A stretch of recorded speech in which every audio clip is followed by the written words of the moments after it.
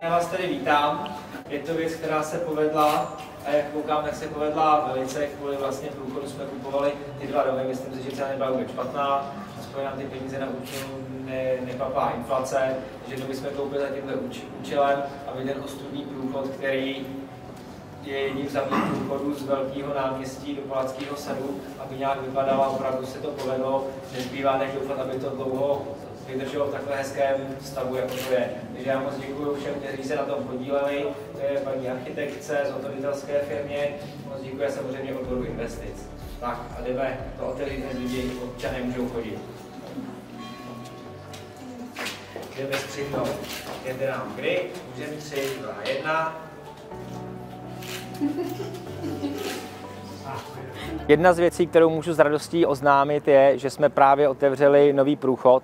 Tento průchod, jak všichni víme, tak byl neskutečnou ostudou a přitom je to místo, kudy chodí stovky lidí.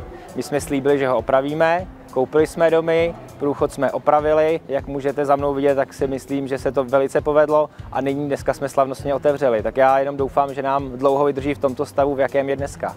Kromě toho, že jsou v průchodu nová světla, nová podlaha, nové zdi, tak jsou zde nainstalovány kamery, protože bohužel, jak vidíme i na druhém průchodu, tak někteří lidé se k němu nechovají hezky, tak jedna z věcí, která sem byla dána, tak to jsou právě městské kamery, které jsou napojeny na městskou policii a průchod je monitorován 24 hodin denně. Této akce mám velkou rád, že se povedla. Věřím, že nejsem jediný a že tuto akci ocení i občané a hlavně doufám, že v tomto stavu vydrží co nejdelší dobu.